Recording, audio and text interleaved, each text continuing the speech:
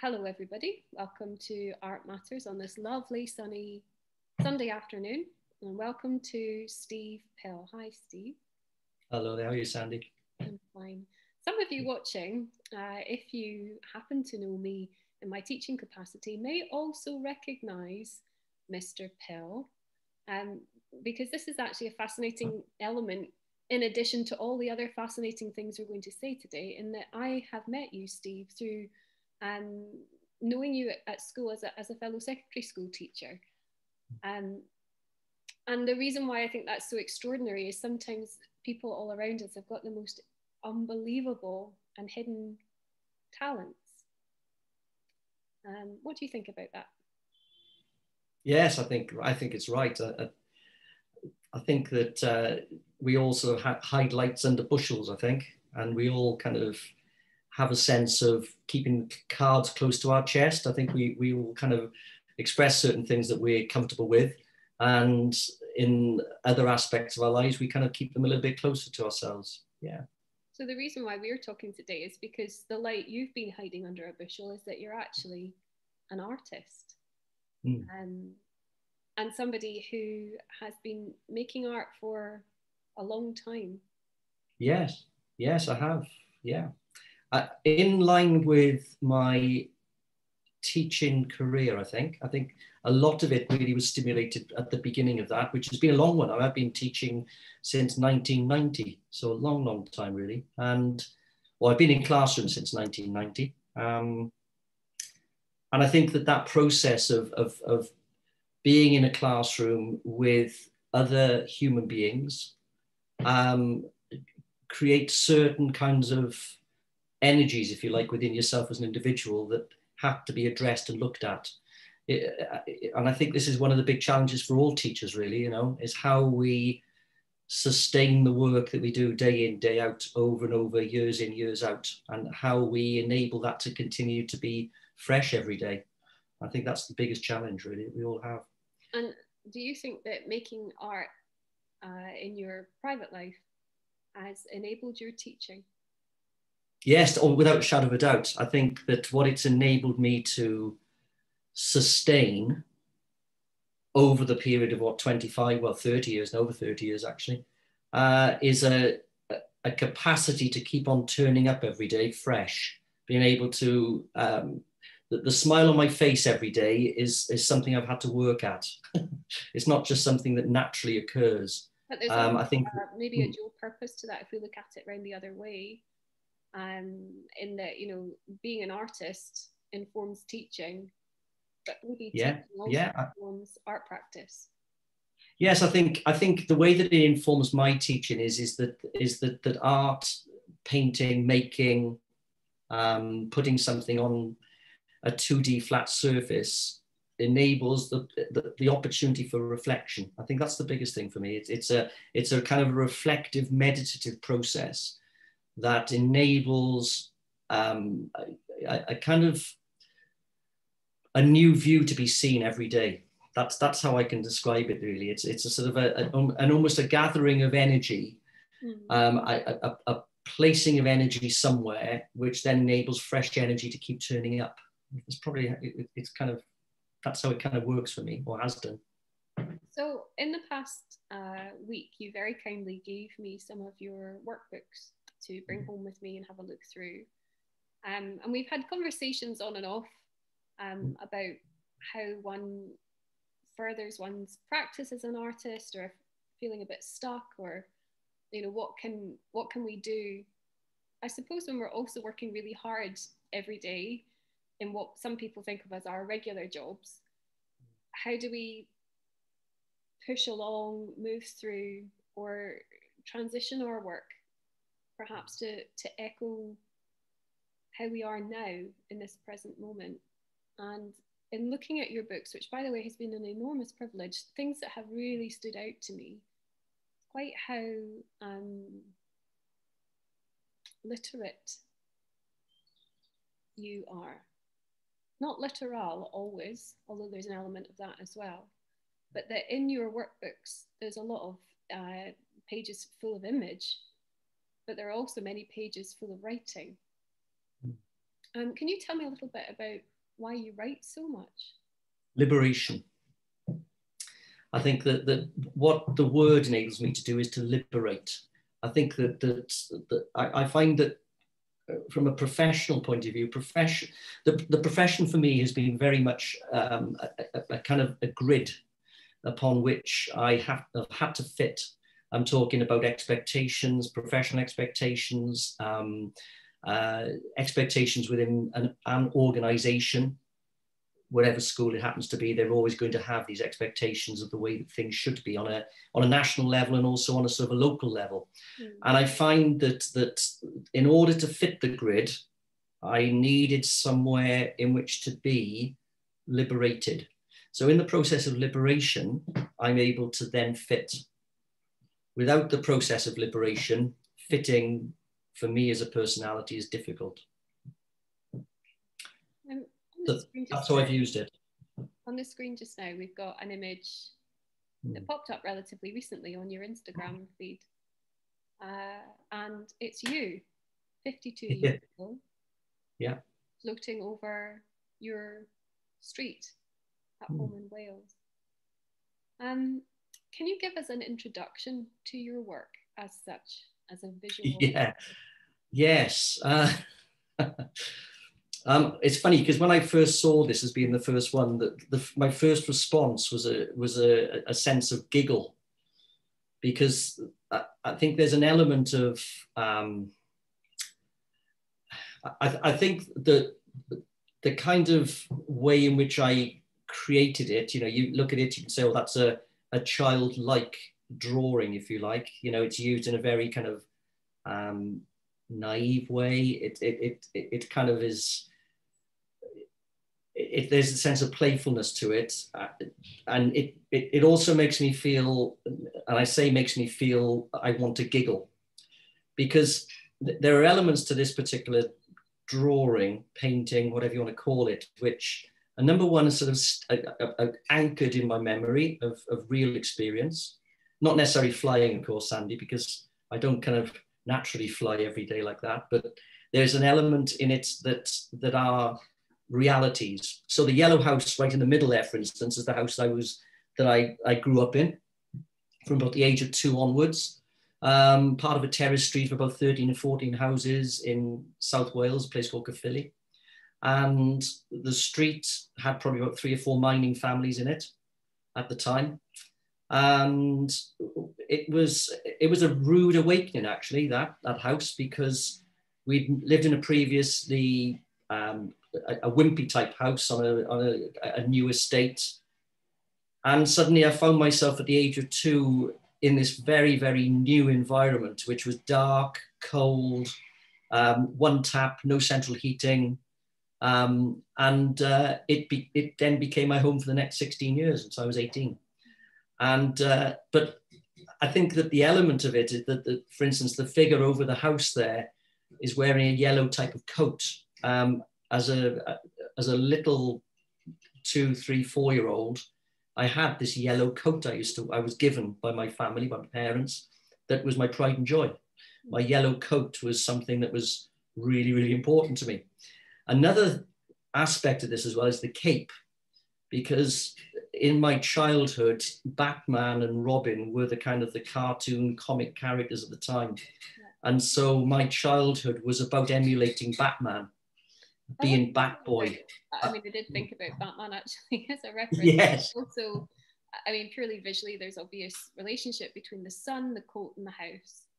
Um, and I, I mean, this is an obvious question in one way, but in another way, I suppose we could really go into this in great detail um, about the kind of particular relationship between your work and memory and mm how that seems to stimulate a lot of your outcomes, even when later we'll see your outcomes also often are recording what feels very present.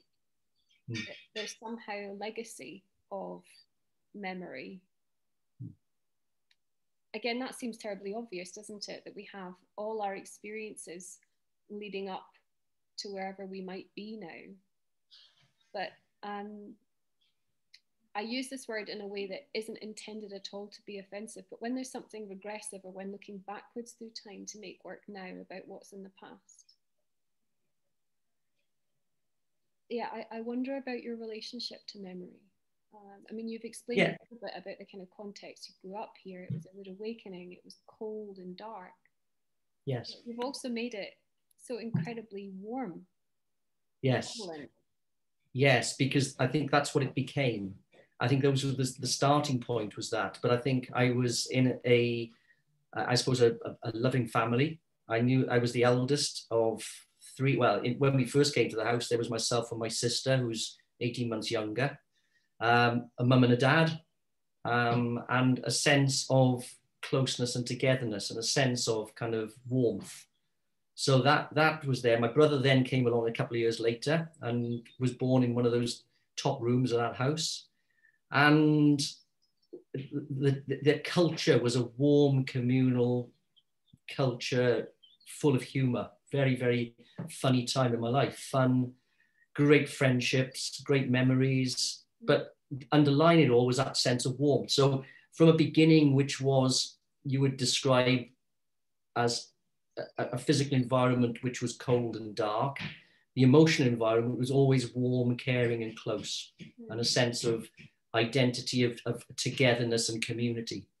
So the, the houses were characterized, for instance, by um, very, very low walls right throughout the whole street. So you could walk into the back of the garden, there'd be dry stone walls, but you would know from number one to number 14 what everybody was up to in each back garden.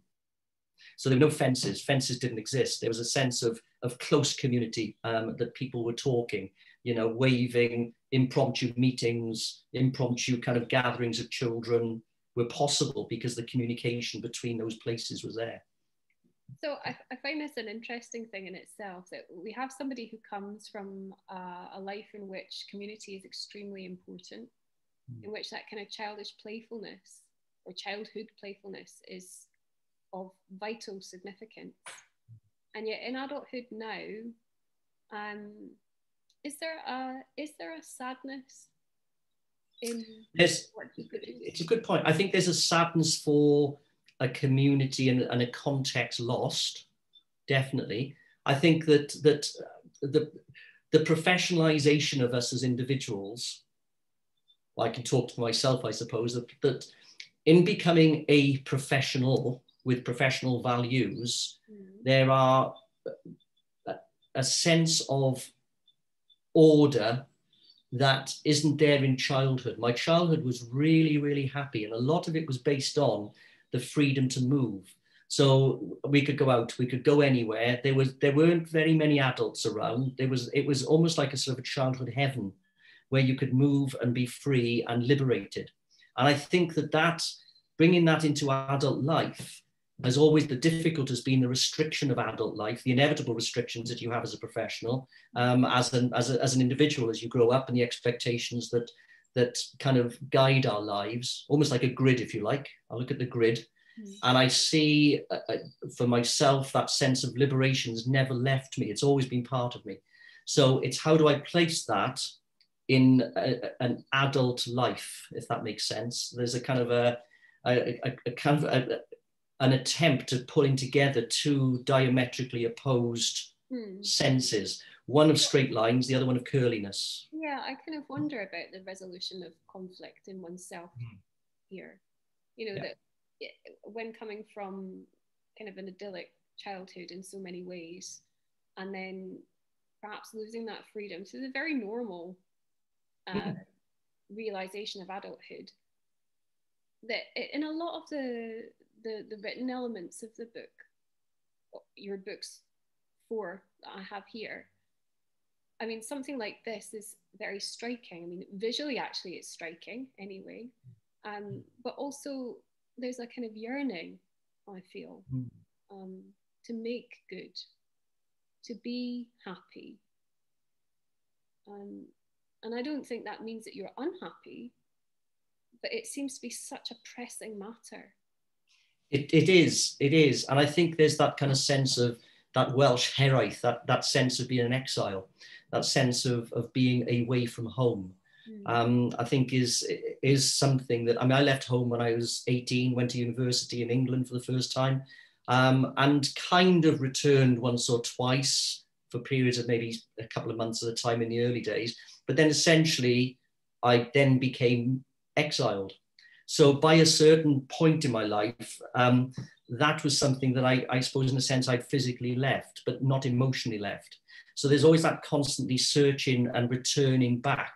If that can't happen on a physical sense, it becomes something that is that is something I kind of like dip into, and I and I and I kind of have a sense of happiness. So I find myself as an adult life, I know where happiness is, if that makes sense. I know where it is for me. I know where contentment is, and a lot of the contentment for me is that returning to that point and that kind of feeling of what it was at that age, which then is a, is a kind of a direct bridge into my adult life as well. Um, so there's a kind of a sense of blessing in that, in that I've got a bridge into that childhood, which also gives me a bridge back out of that childhood as well into adulthood. Okay. So the art itself is a manifestation of the need to return. Yeah, yes, a need to return. Absolutely. A constant cycle return. Absolutely. This is pretty early on in one of your sketchbooks. Hmm. and it I think it's buffered either side by very interesting uh, pieces of writing and indeed diagrams of rugby. yeah. So you have lots of things that you do. I mean, anyone who follows you on Instagram will know. Um, I mean, I think you say it even in your blurb, your personal blurb, that you you're on the water every day. You do so many different things. Um, I've got lots of evidence again surrounding me right now in these books of, of somebody who's constantly moving. Mm.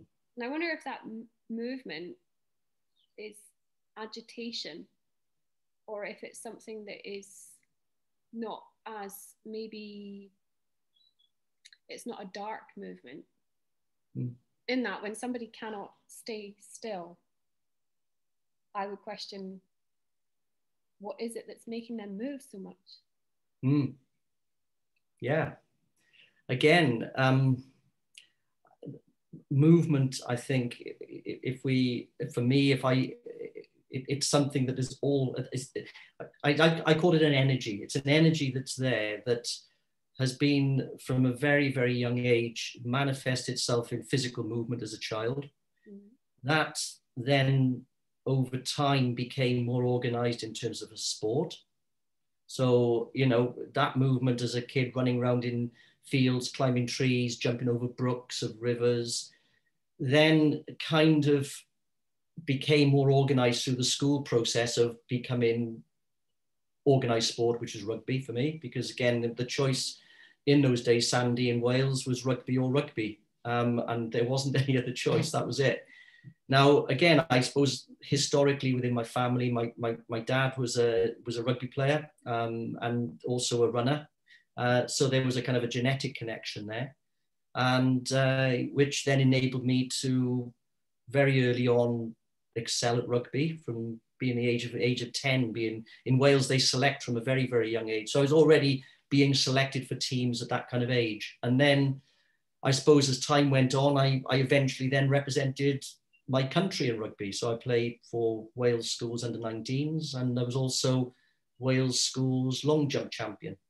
So 1981. So for me, th- that movement energy, that aspect has always been there. And I found that as my as my sport, my organized sport, kind of got less when I got to about the age of 28, 29, I kind of formally retired from rugby. Having having played, I suppose, at a level which was which would which is televised rugby. So I was playing matches on television, that type of thing. So I, I then had to sort of, as soon as that rugby kind of stopped, this kind of movement on 2D pages started. mm. So there was almost a closing down of physical movement, but a kind of like an, in, an increased kind of movement within within a kind of a, on a 2D space. Yeah. I wonder how that reconciles though, because we have something that is about a, an enormous physicality. Uh, and I say mm. enormous because the whole body moves yeah. in sporting action. And of mm. course, there's movement when making work and drawing, mm. but it's so quiet by comparison. Mm. Um, sometimes when I'm looking at your work, I, I, mean, the marks that are made, whether it's, again, forgive the term if in any way this offends you, but in the kind of more naive work that you produce, there's a sense of marks that are made hurriedly, uh, a, a, quickness of drafting. Mm. Um, I, I wonder about that with you for what's it like for you to sit down and draw something for many hours?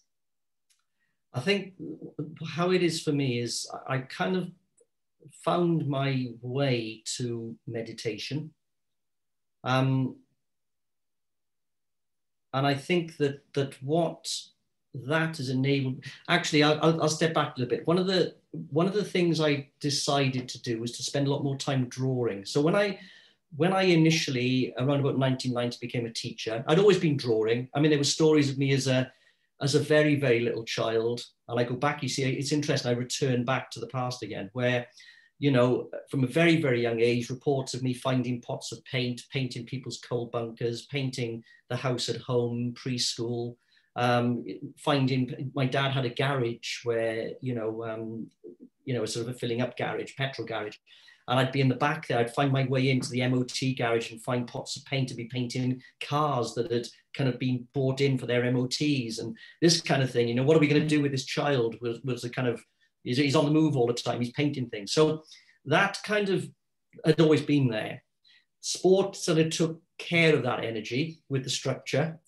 And then I found myself again without with the energy and without the structure, if that makes sense. So I had teaching, that was great, but it it the process of drawing was I found myself stopping and staring more and more at stuff. I found myself kind of having a need to kind of really start to look at the world around me. Mm. And I found that by doing that, the, the challenge of sitting still and stopping and staring and looking at what was really in front of me, I found became meditative. I almost discovered meditation through that process.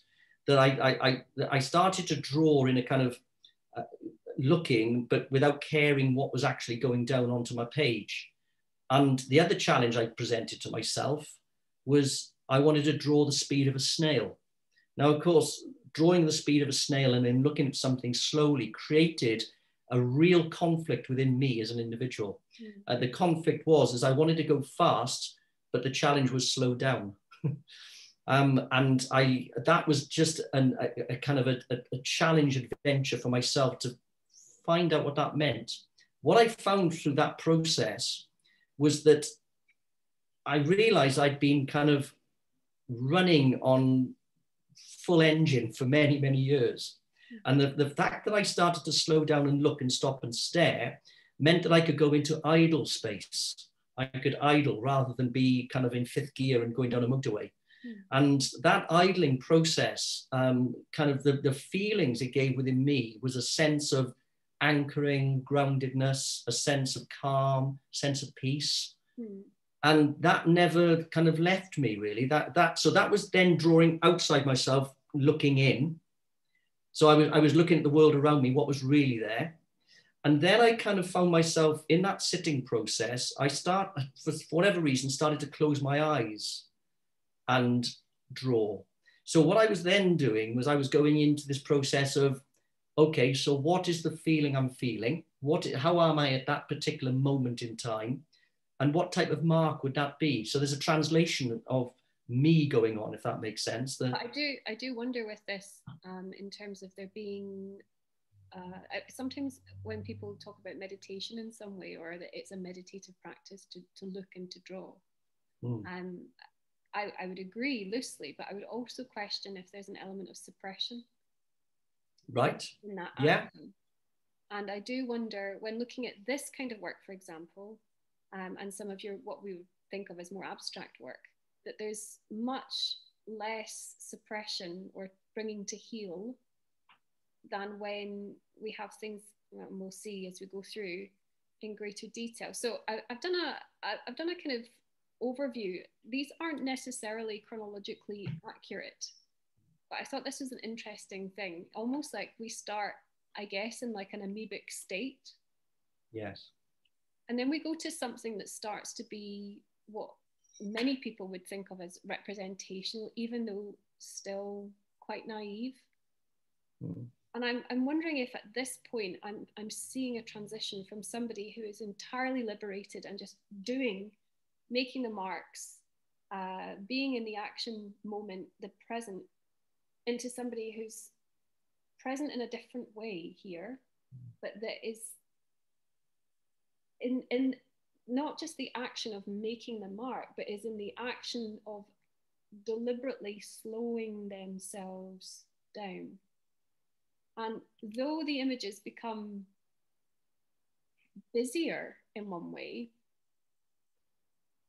that in so many other ways they perhaps become full of tension. Mm. And I don't know what you how you would respond to that, what you would say to, mm. to that kind of sense? I think I think that the tension for me is the internal and external. Yes, I think that there's a there's a kind of a thin veil between the two things. I find myself looking at the external world with this kind of sense of energy within myself, which is always almost like best way to describe it is like a fire, an energy. Hmm. Um, and I find that that when I look outside of myself and record, because I would say for me there's a sense of recording in this. Mm. And when I when I record what is in front of me or attempt to record, I, I can do it for so long before it dissolves. I, I think there's a kind of irony though. There's a sense of being active and passive. Mm. So for, for me, this is like highly active. Mm. And this is becoming less active. Mm. This is relatively passive. And still is reactive, of course, because in the recording of the space, one is responding to what is seen. Hmm. You are responding to what is felt. Mm.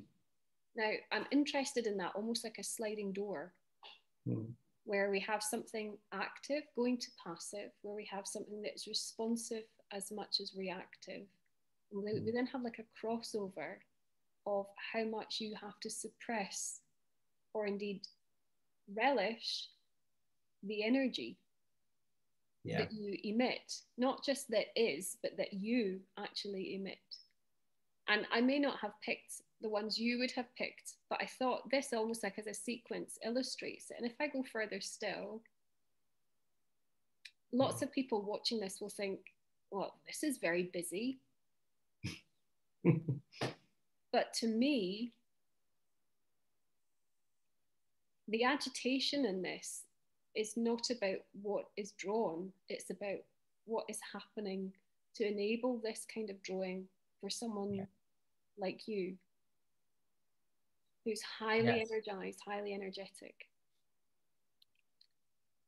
Yeah. And then I thought I'd put this in because this is like a, an anomaly moment. I found. And there's a couple of these on your Instagram, and they're very pared back. And no matter what else might be happening in all this energy through your work, these are very muted. Can you tell us a little bit about this kind of work? Yes. Uh,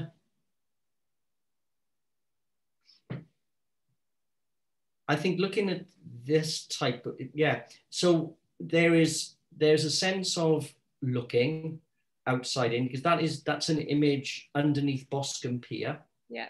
You've got the arches in Boscombe Pier there.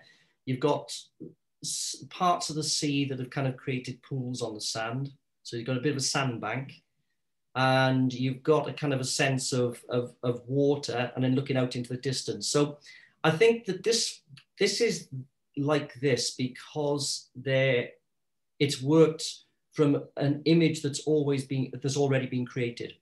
So the tension in this one for me is loss or, or is not, as, not there because the, the image has already been settled before I actually started it.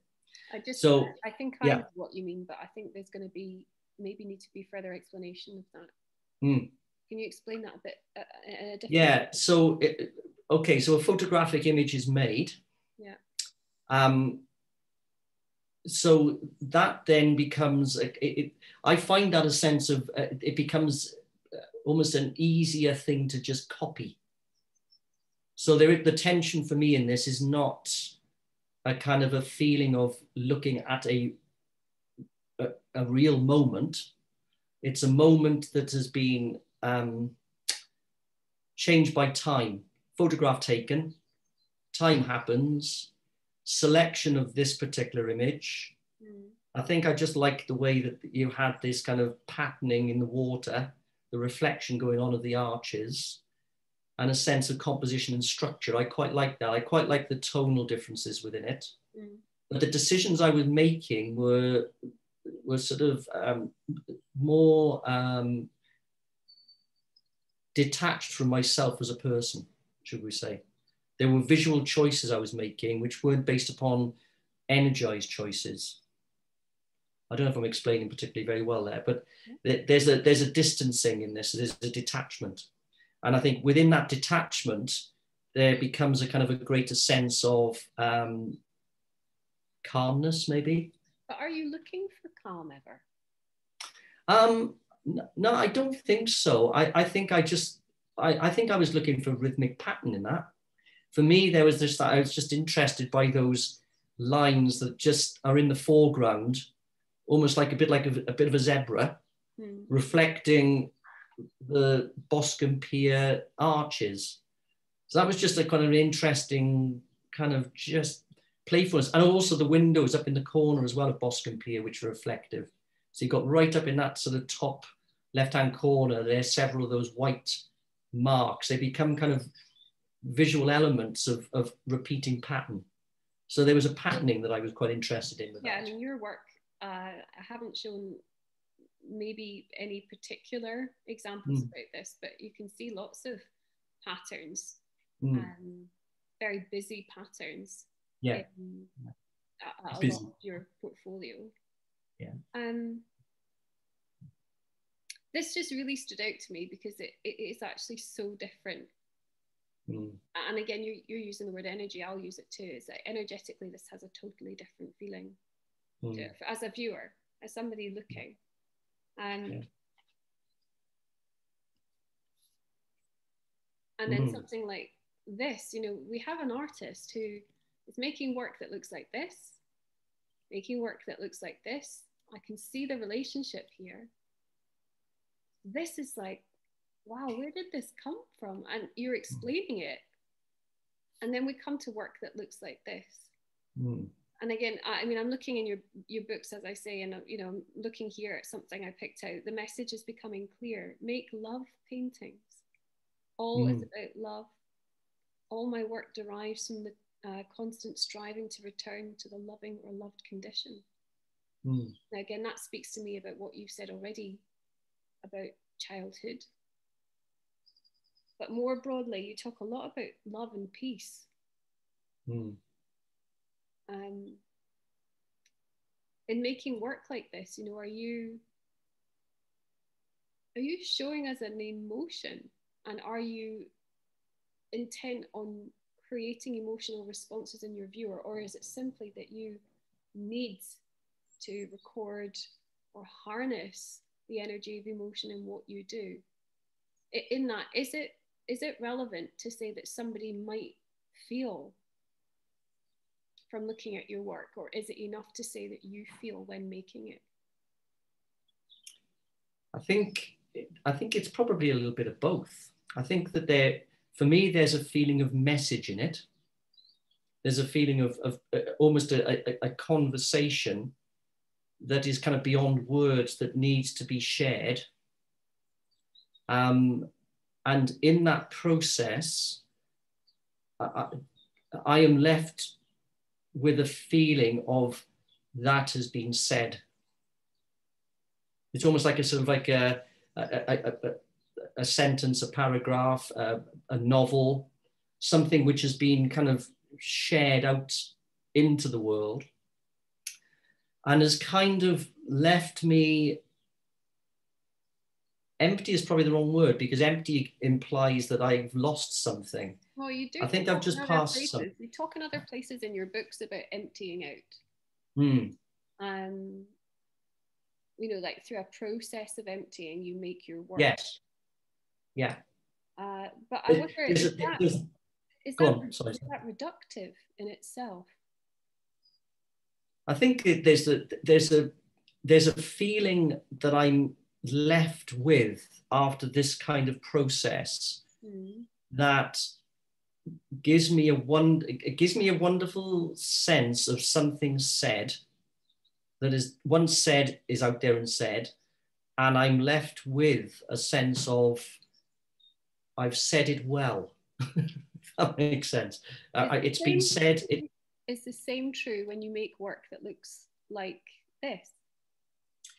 now that, that again is there's there's a sense of, of for me it, it tends to be that becomes more kind of philosophical. It's more intellectual. And it, it's intellectual from the perspective of the the immediate foreground Mm. is a literal space. It exists.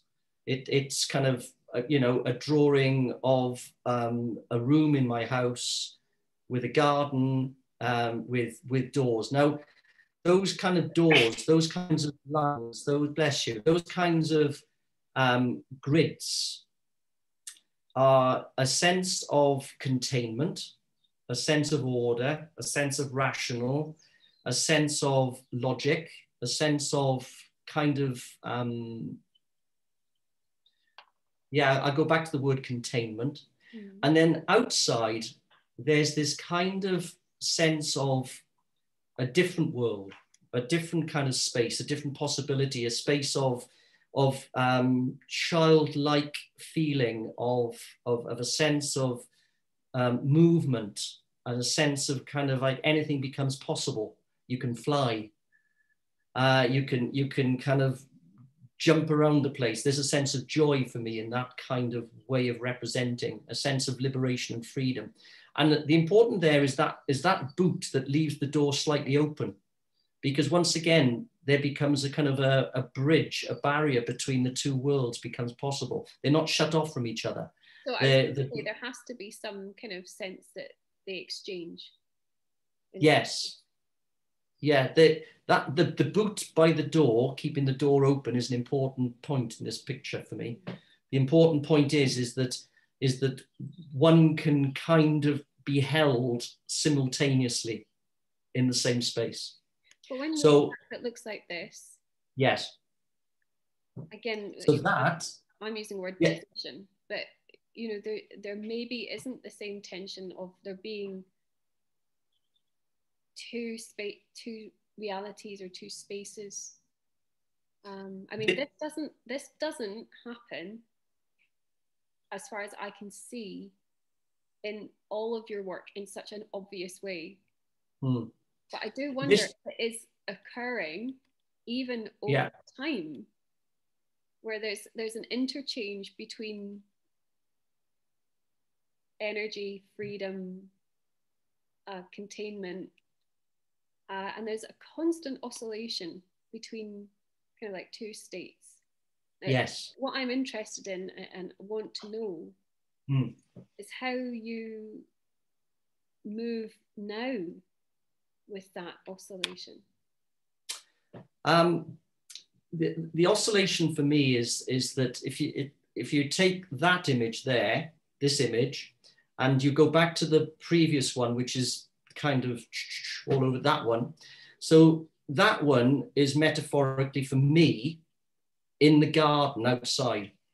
So that's me actually being outside the house, the order, the structure.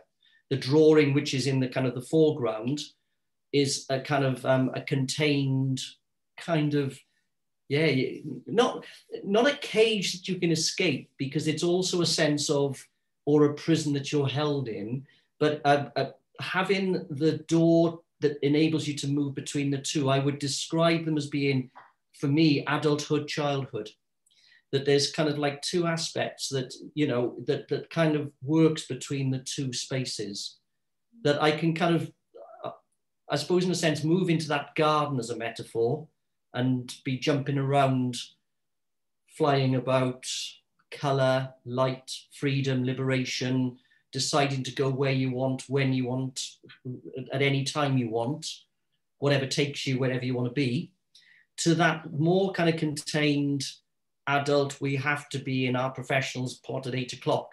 We have to do our lunchtime. We then do our kind of end of, end of school if we were talking professionally. There, there's a kind of the, there's a time element in this. So time, the structure that we have in our everyday lives, kind of like fades away when you go through that door into the other world. It becomes timeless. Time is kind of not of, of a kind of, um, it, it's almost like that flow state where you kind of lose sense of time. It could be, uh, you know, a thousand years into the future. It can be a thousand years in the past. It can be anything that you kind of move around in a liberated way. And I think, in a sense, for me, that is always that reconnection with childhood, that re-return to that place, um, which seems to be a kind of like a, a theme to all the images that I make that on one hand is the kind of the, the, the, the contained ordered structure with this sense of liberated energy. So you and said the, all your work, you said that mm, all your work is a quest for love. Yeah, yeah, I think it's a quest. Um, love, joy, peace. Yeah. So yeah. in this kind of image, I, I just find this such a fascinating again like almost like a point of tension for me is that we have an mm. artist whose quest is for love and and what that umbrella term means but we also have someone who's creating split a split somehow in themselves over and over in mm, order to yes. find something that is whole yeah i would say that there's an element of that i would say that there's an element of um, uh, I think there's an element of return, a need that that constant element of return is a, is a, is a massive theme, and it's a return to what you could describe for me a freedom. I find I, I found that as I became an adult, that liberation became less and less possible. I felt less liberated, and I think that the, the, the sort of the the feeling for me was that was that loss of liberation. And I, and, I, and I, I think there's a constant need to return to that liberation because for me there is a feeling of love within that liberation. There's a sense of a peace within that. Um, I've, I've found adult life difficult. Yeah i would say that that's that's me. i think i found adult life difficult as an exile. These are really big words though and they're totally hmm. loaded, as we know. So when we use word like exile, mm. I would assume that it means that you feel like you can't return. I can't return to childhood in the sense that biologically I'm now 58. So there is that kind of sense. Nonetheless, mm. and you did acknowledge this earlier, that you have yeah. the presence of the child within you at all times. Yes, yeah, and which is which is um, how we describe it, it, you could describe it as a blessing and a curse. but also in that, maybe we don't need to look so far for the thing we seek. Mm-hmm. Yeah. You know, your your uh, work is is a it, it, it's like a, an avalanche of kind of joyous exploration.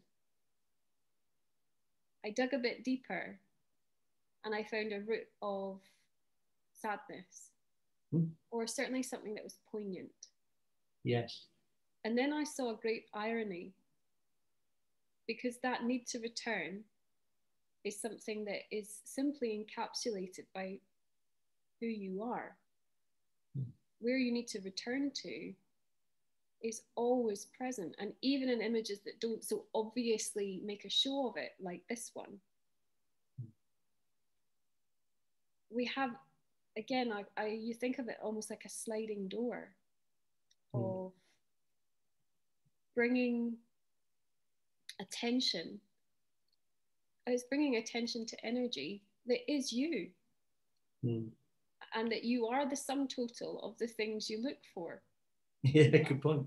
You know, Yeah. I mean, you have a, a, a keen eye, something that sees color, yes, um, although not necessarily color that just anybody might see in the same scene or the same place. Mm. But there is a lot of work, uh, certainly in the books, that are, is, is no color, it's just pen work. And we have a, an abundance of texture. There's always so much happening in these images. And yet, by the time I got to this, I felt very peaceful again. Mm. I don't know if you've ever seen Richard Linklater's uh, Waking Life. No. Um, I would recommend that for you to watch as an animation. It's a it's a feature length movie. It's presented kind of like a documentary, going around different characters who have at the time in the late 90s a pioneering animation technique where um, paint and pen were applied frame by frame get a kind of again this word oscillation there's a constant movement and agitation in all the people who are filmed speaking about various topics mm. um, uh, that in itself makes me wonder your work strikes me as being very much of human presence though not of humans mm. so i can see that there are characters But even when we go right back to the very beginning, the human form is kind of caricatured and not as evident as other forms that nonetheless are still about human human experience yeah yeah interesting observation well again, I wonder for you thinking about what what it is to be an artist. What does it mean to be an artist, Steve? Um, it, it for me, it's liberation. A, liber- yeah, a sense of feeling liberated, a sense of ser- or having the possibility of searching for liberation. That's a, that's what I find, and I and I find that there's energy that I have a need to pass on. That's how I feel. That there's a kind of a, a, a so if if I want, if I took the perspective of saying, right, I don't produce anything, mm. Then what I would do is it would probably be converted into movement, physical movement. Mm. So if I stopped tomorrow creating or generating marks and images, that would be movement. why do I do that? Why do I look? Why, you know, what is it for me looking at, you know, that was a particular paddleboarding day. I went off, I paddleboard around Christchurch Harbour. I pulled the paddleboard up and sat down by the side and again, space. Now this could be again a, a rugby thing, you know, I, I, I was, a, the skill that I had as a rugby player was I was very, very good at finding spaces very quickly. So I have an ability to be able to find space, proportionate space, exploit it and score tries. That was basically what rugby is about, isn't it? It's finding space and finding it accurately, using it properly, and then crossing a line. That's what I could do. I could do it quite quickly. And I find that the drawing enables me to kind of look and there's there's a sense there's a sense of um, mastery, I suppose, the, the capacity to be able to look at things and to put them in their places. So there's a sense of control and a sense of ordering and a sense of um, puzzle making. Finding space hmm. in spots that others would not see. Is this true of all aspects of your life? Yeah, space and, is a big one. And, mm. and is that about actually finding a kind of psychological niche where you feel comfortable? Yes, I think that's an interesting, and, and that's a really, really interesting way of, yes, I would say that it is about finding a space psychologically. So a physical space that becomes a psychological space. So, I mean, the work like this to me, I mean, it would be lazy of me just to say, well, this is abstract, therefore it's about psychological space. Mm.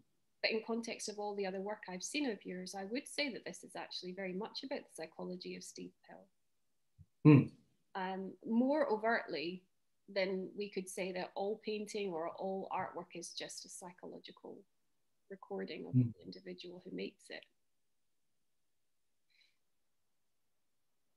Things that I would take from this as a, as a viewer who's been privileged enough to read your words, to see your images, is that there's a constant tension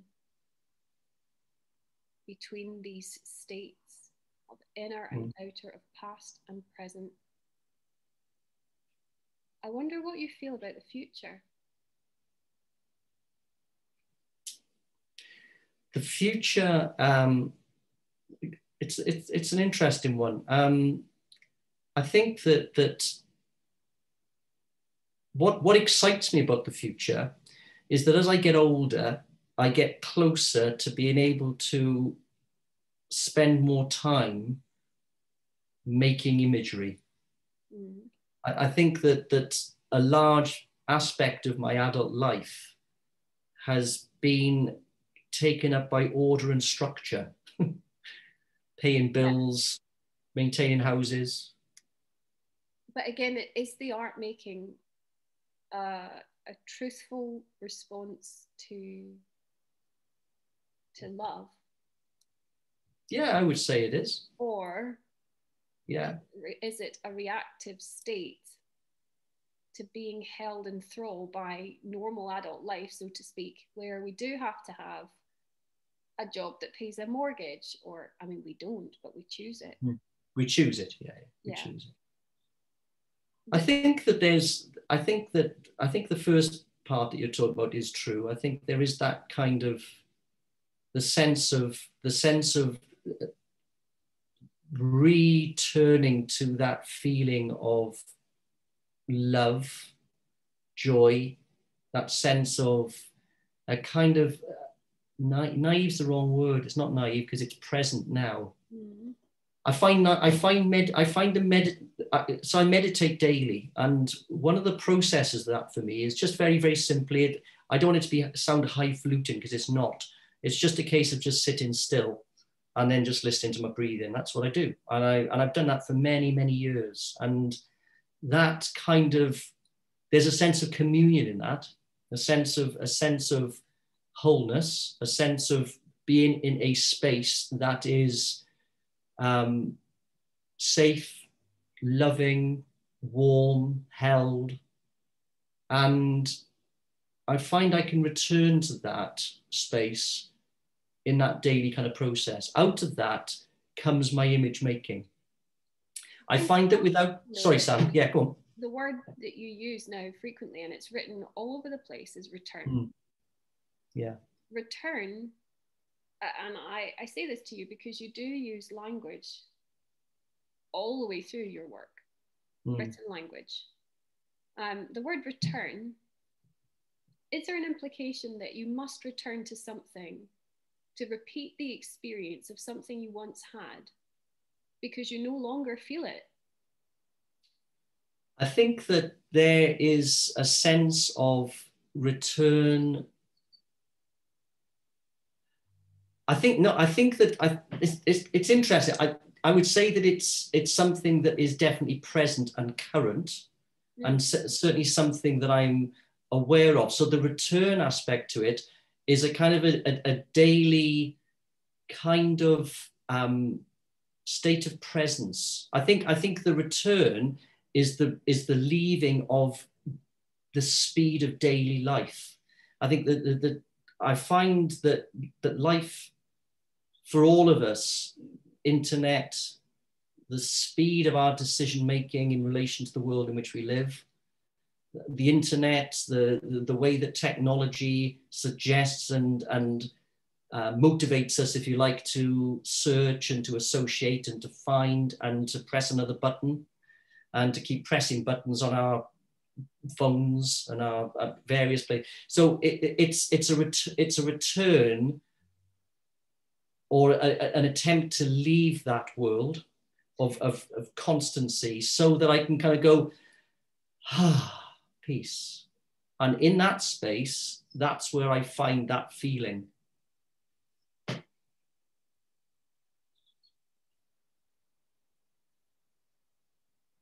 Oh, of course, not going to disagree with you. Mm. I still, I think, I think I actually, uh, I find it, I find the word return problematic mm. it suggests something to me, and this is as much about my codifications of language as anything else. When I hear the word return, it strikes me that, that that's quite difficult for somebody who's so present mm. that, that that's conflict and that actually mm. it's an incredible violence to oneself to need to to go back mm.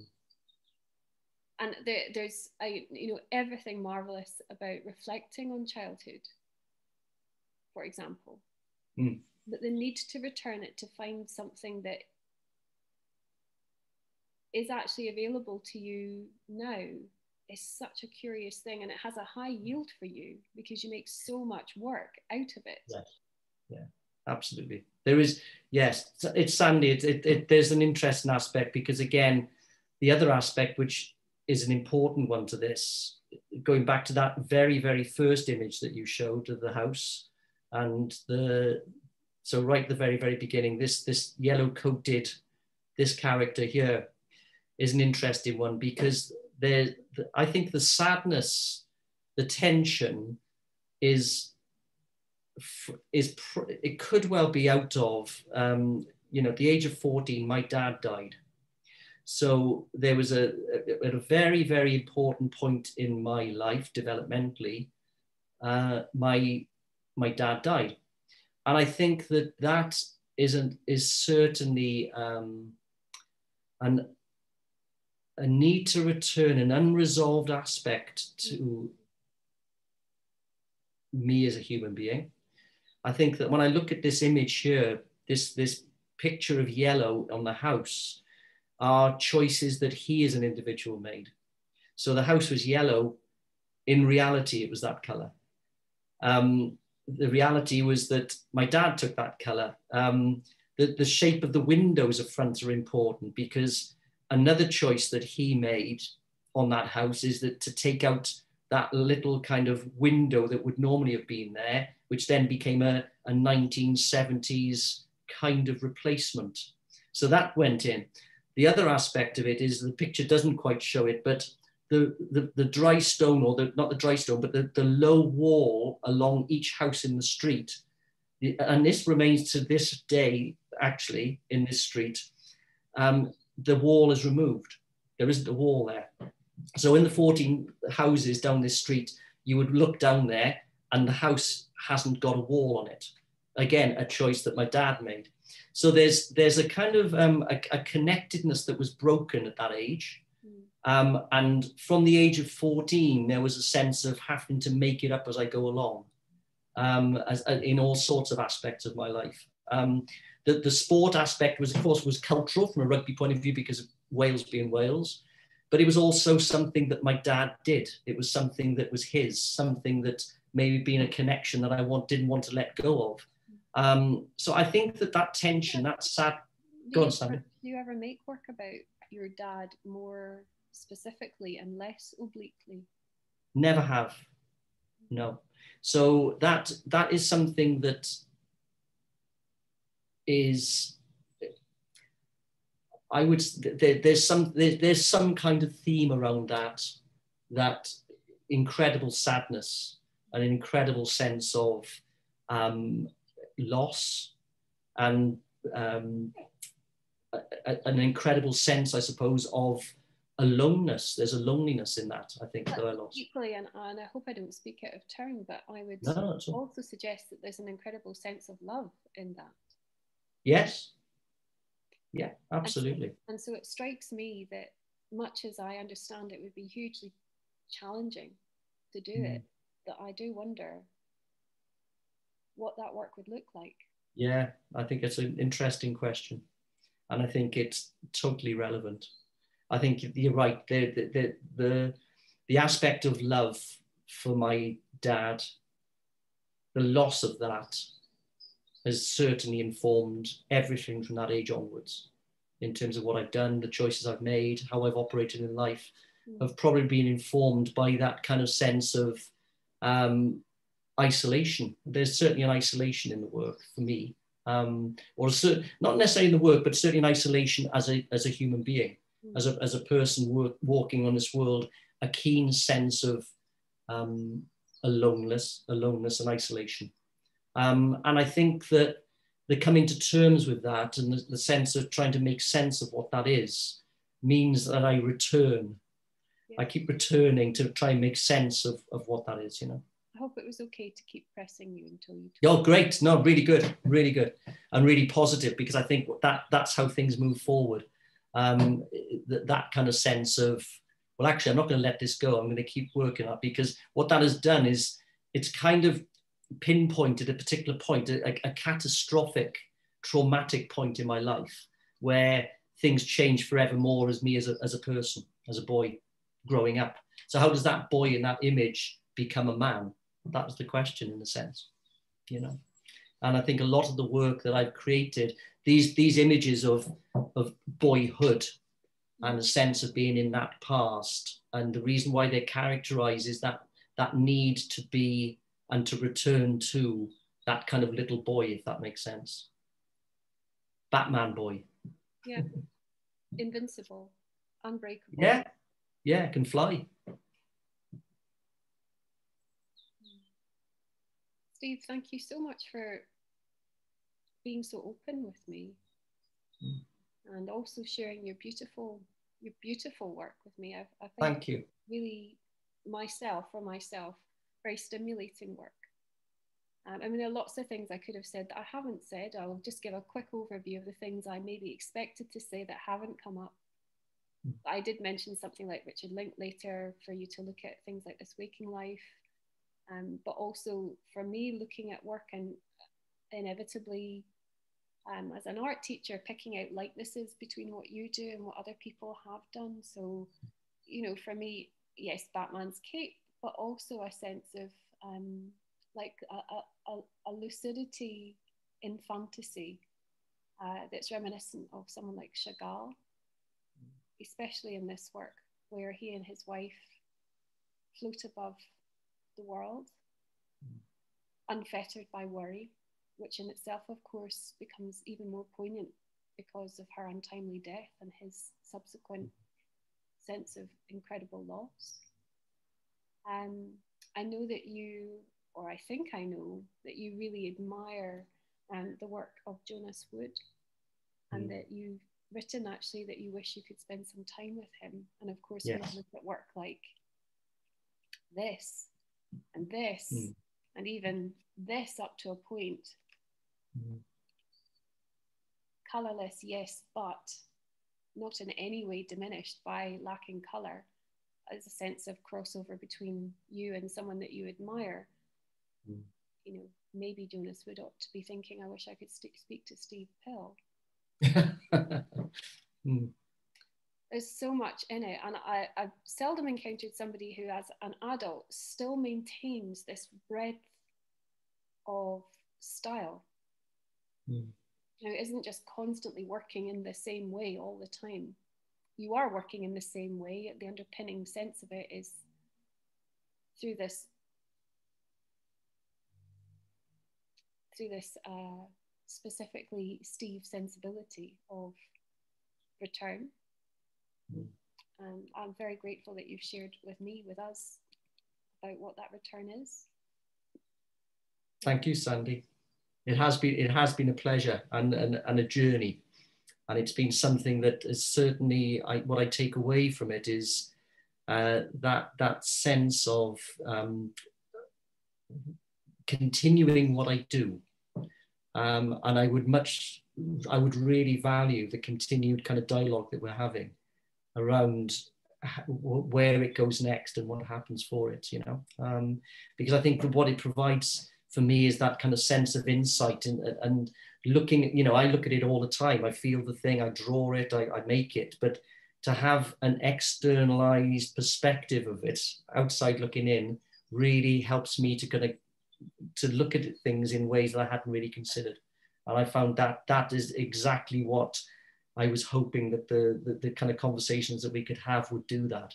Mm. And I and I what I really really value is the, the the being pushed on things and being challenged. I think that is that is so so so helpful. So thank you. It's been it's been an absolute pre- a pleasure. Well, it seems really strange now to say I'll see you at school in the morning. yeah. But if you haven't already, and, and people watching, you don't already subscribe or if you don't uh, indeed follow Steve on Instagram, he's got the most extraordinary wealth of work on Instagram. Please follow him. Tell us the tell us the the name. It's uh, Steve Pill Paintings. Steve Pill Paintings on Instagram. Follow him now. Go and see what else he's been doing. And remains for me to say thank you very much for giving me your time, lending me your sketchbooks, and, and sharing a, a very uh, real sense of why you make what you do. Thank you, Steve. Thank you. Thank you, Sandi.